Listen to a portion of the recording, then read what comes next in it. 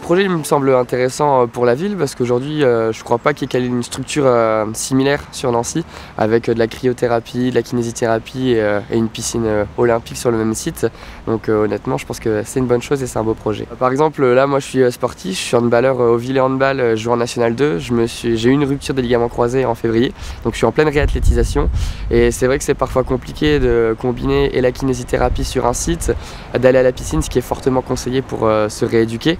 Euh, donc là, avoir tout sur le même site, moi ça m'arrangerait, surtout que je suis habitant euh, du quartier Mont-Désert, donc ça me va bien.